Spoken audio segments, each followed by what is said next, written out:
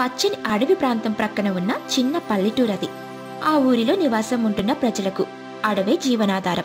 దాంతో ప్రతి ఒక్కరూ గొడ్డల్ని తీసుకుని అడవిలోకి వెళ్ళడం కనపడిన చెట్టును కట్టెలుగా కొట్టడం వాటిని అమ్ముకోవడం వంటకు వాడుకోవడం చేస్తూ ఉండేవాళ్ళు. ఒక రోజున జీవన్ చక్రం ఇద్దరు కట్టెల్ని కొడుతూ ఉండగా వాళ్ళ దగ్గరికి ఆ ఊరికి పెద్ద దిక్కుగా ఉన్న రాజయ్య వచ్చాడు. ఏరా మీకెన్నిసార్లు చెప్పినా అర్థం కాదా? అడవిలో కట్టెల కోసం ఎండిన చెట్లను కొట్టండి కాని పచ్చని చెట్లను కొట్టకండ్రా. అయ్యా పెద్దయ్యా పచ్చని చెట్టు ఎండిన చెట్టు ఆడే తేడా లేదయ్యా. ఎక్కువ కట్టెలు ఇచ్చేలా ఉన్న ఏ చెట్టునైనా కొడతాం. అయినా పెద్దయ్య ఇప్పుడు పచ్చని చెట్టును కొడితేనే కదా అది జీవం పోయి ఎండిపోతుంది. అప్పుడు కట్టెలుగా పనికొస్తాయి. సహజంగా ఎండిన చెట్టు కావాలంటే అది ఎవరికవుతుంది చెప్పండి మీరే. అలా అని పచ్చగా ఉన్న చెట్టును కొట్టుకుంటూ వెళ్ళి అడవి తల్లికి క్షోభను మిగిలిస్తారా? అయ్యా పెద్దయ్యా ఈ పక్కన నేను చక్రంగాడు ఇద్దరం కట్టెల కోసం చెట్లను నరికితేనే అడవి తల్లి క్షోభిస్తుందా పెద్దయ్యా?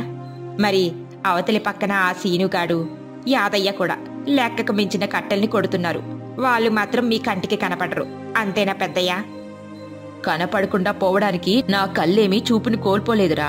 అయినా వాళ్ళనొకలా మిమ్మల్నొకలా ఎప్పుడూ చూడలేదు. చూడను కూడా. ఎంతైనా వాళ్ళు మీ చుట్టాలు పైగా ఒక ఊరి బంధువులు. మేము అలా కాదు కదా. ఒకే పల్లెటూరు వాళ్ళం. అయినా వాళ్ళ నుంచి మీకు రావాల్సినవి చేరాల్సినవి చేరుతున్నాయి కదా. అని అనడంతో రాజయ్యకు ఎక్కడలేని విధంగా కోపం వస్తుంది. చక్రం దగ్గరికి వచ్చి దవడల మీద కొడతాడు. చక్రంకి కూడా కోపం వస్తుంది. కానీ జీవన్ చెప్పడంతో చక్రం తనకున్న కోపాన్ని కంట్రోల్ చేసుకుంటాడు. ఇప్పుడు చేస్తున్న పాపానికి శిక్ష ఖచ్చితంగా ఘోరాతి ఘోరంగా ఉంటుంది. అది ఊరంతా అనుభవిస్తుంది. అని చెప్పి అక్కడి నుండి కోపంగా వెళ్ళిపోయాడు రాజయ్య. అలా రోజులు కడుస్తూ ఉంటాయి. ఎండిపోయి అంధకారంలో ఉన్న అడవి ప్రాంతం. ఆ అడవిని నమ్ముకొని ఇంతకాలం కట్టెలకు చెట్లను కొట్టి జీవనం సాగించారు. ఆ అడవి పక్కనే ఉన్న ఊరివాళ్ళు ఇప్పుడు అడవి మొత్తం ఎడారిలా మారడంతో వర్షాలు లేవు పంటలు కూడా లేవు. కనుచూపు మేరలో ఎక్కడా పచ్చదనం కూడా కనపడదు. తినడానికి తిండి లేక తాగడానికి నీళ్ళు లేక. ఆ ఊరి వాళ్ళంతా అల్లాడిపోతూ ఉంటారు. ఆ ఊరికి పెద్ద దిక్కుగా ఉన్న రాజయ్య మిగతా వారిని ఉద్దేశించి ఇలా అంటాడు. ఈనాడు మనం ఇలా ఆకలితో దాహంతో ప్రాణాలు పోగొట్టుకుంటున్నామంటే కారణం ఎవరు? సూరిగాడు. లీలావతి. ఇలా అందరూ ఒకరి మీద ఒకరు చెప్పుకోవడం మొదలుపెట్టారు. కానీ తమ పేర్లు మాత్రం చెప్పలేకపోయారు. అది చూసి చిన్నగా నవ్వుకుంటాడు రాజయ్య. ఎంత బాధలో కూడా మీకు నవ్వెలా వస్తుందయ్యా? నవ్వకుండా ఎలా ఉండగలను చెప్పు జీవన్?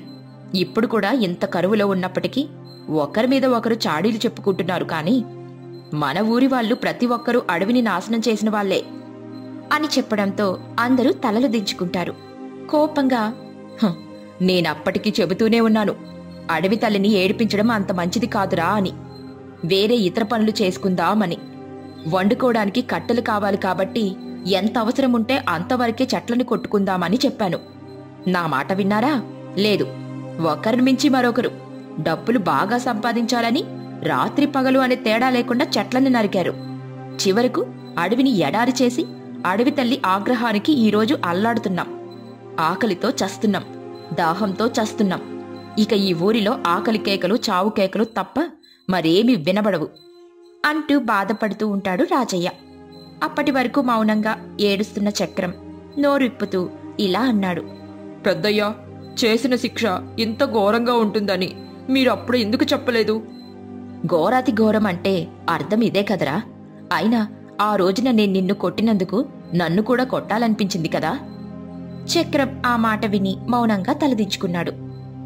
అయ్యా మనకు మరొక మార్గం లేదా? మళ్ళీ మనకు మంచి రోజు వచ్చే అవకాశం లేదా? ఉన్నది లేనిది నాకు తెలియదు గాని మనం నిత్యం కొలిచే ఆ షిరిడి సాయినాథుడిని ఏదైనా మార్గం చూపించమని అడుగుదాం. షిరిడి సాయినాథుడే ఏదైనా మార్గం చూపిస్తాడు. అందరం కలిసి సాయిబాబాను వేడుకుందాం అని చెప్పడంతో ఊరి వాళ్ళు సాయిరాం సాయిరాం అంటూ సాయిబాబాని స్మరిస్తూ ఉంటారు. అలా కాలం గడుస్తూ ఉంటుంది. వాళ్ళు మాత్రం సాయిబాబా స్మరణని మరవలేదు. స్మరిస్తూనే ఉన్నారు. ఉన్నట్టుండి వాళ్ళ ముందు సాయిబాబా ప్రత్యక్షమవుతాడు. దేదివ్యమానంగా వెలుగుతున్న సాయిబాబా కనిపిస్తాడు. అందరూ చేతులు జోడించి కాపాడమని వేడుకుంటారు. రాజయ్య ఏమిటి మీ సమస్య? సాయినాథ మీకు తెలియందేముంది చెప్పండి. ఏర్పడిన కరువుతో అల్లాడుతున్న మా జీవితాలకు ఒక దారి చూపించండి బాబా. చేసుకున్న వాళ్ళకి చేసుకున్నంత రాజయ్య. కావాలని చేసుకున్నారు. ఇప్పుడు కరువును అనుభవిస్తున్నారు.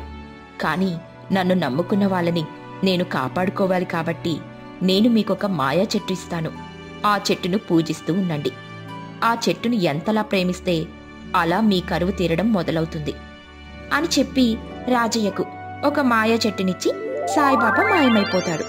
ఇకప్పటి నుండి ఆ ఊరి వాళ్ళు సాయిబాబా ఇచ్చిన మాయా చెట్టును పూజిస్తూ కరువుని జయిస్తారు.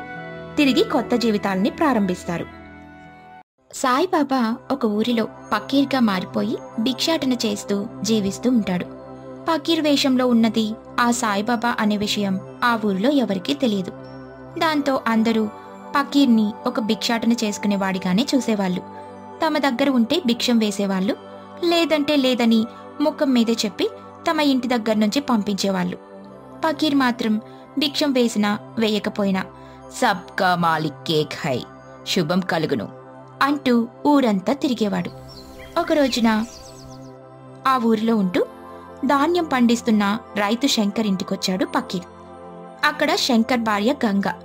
తనకి పిల్లలు పుట్టకపోవడానికి కారణం ఇంట్లో ఉన్న సవతి కూతురు కీర్తి అని.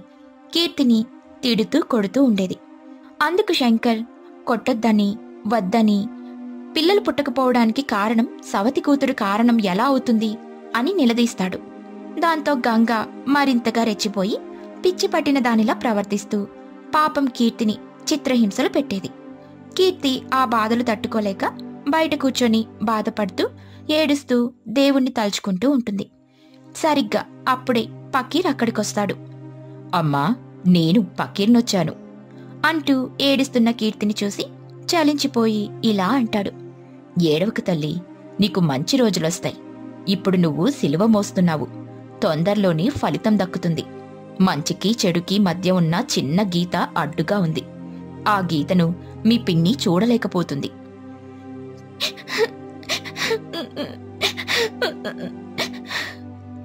అలా ఏడుస్తున్న కీర్తికి పకీర్ మాటలు అర్థం కాలేదు. దాంతో పకీర్ను అయోమయంగా చూస్తూ ఉంటుంది. ఇంతలో గంగ రొట్టెలు పట్టుకుని బయటికొస్తుంది. కీర్తితో మాట్లాడుతున్న పకీర్ని చూస్తుంది. ఏయ్ పకీర్తో నీకు మాటలేంటే? ఇంట్లోకెళ్ళు అంటూ పకీర్ చాచిన మట్టి పాత్రలో రొట్టెలు పెడుతుంది. చూడు తల్లి నీకు పిల్లలు పుట్టకపోవడానికి కారణం నీ సవతి కూతురు కాదు నువ్వే. ఆ మాట విని అర్థం కానట్టుగా పకీర్ని చూస్తుంది గంగ. అది అర్థం చేసుకున్న పకీర్ వివరణగా చెప్పడం మొదలుపెట్టాడు. కంటేనే కూతురని ఎవరు చెప్పారు తల్లి? కడుపు తీపి ఉండాలి కాని కనిపించే ప్రతి పసిప్రాణం నీకు బిడ్డవుతుంది కొడుకవుతుంది. కాని నీ దగ్గర ఆ కడుపు తీపి లేదని సంతానలక్ష్మి రానంటుంది తల్లి. కడుపు తీపి నాకు లేదని సంతాన లక్ష్మి నా దగ్గరికి రాకపోవడానికి నేను చేసిన తప్పేంటో చెప్పు ప్రకీర్ బాబా. నీ సవతి కూతురు కీర్తిని చూడు. పాపం ఏనాడు నువ్వు తనకు తల్లిగా ప్రేమను పంచింది లేదు. ఏనాడు నీ కడుపులో పెట్టుకొని అమ్మగా గోరుముద్దలు తినిపించింది లేదు.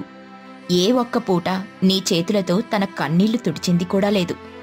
ఏ ఒక్క క్షణం నువ్వు తిన్నావా అని ప్రేమగా ఆ పసి మనసును అడిగింది కూడా లేదు. అని పకీర్ అడిగిన మాటలకు గంగ ఏమీ మాట్లాడలేకపోయింది. మౌనంగా తలదించుకుంది. చెప్పు గంగా చెప్పు. కళ్ళ ముందున్న కూతుర్నే సరిగ్గా చూడలేని గంగ ఇక తన కడుపు పండితే సవతి కూతుర్ను చంపినా చంపుతుంది. నేను వెళ్ళి ఆ ఇంటి ఇల్లాల్ని పాపాత్మురాల్ని చెయ్యలేనని సంతానలక్ష్మి భావిస్తుంది గంగా అని చెప్పడంతో గంగకు తను చేస్తున్న తప్పు అందుకు పడుతున్న శిక్ష రెండూ అర్థమయ్యాయి.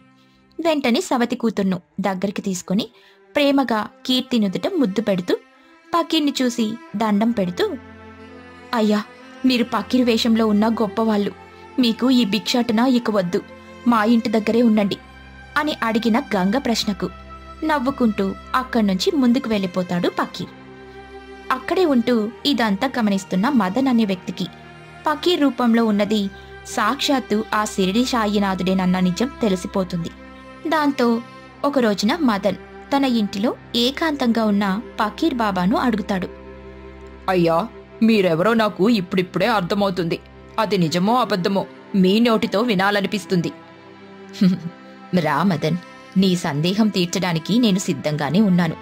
నువ్వు నన్ను ఎప్పట్నుంచో అనుసరిస్తున్నావని నాకు తెలుసు. ఈరోజు వస్తుందని కూడా తెలుసు.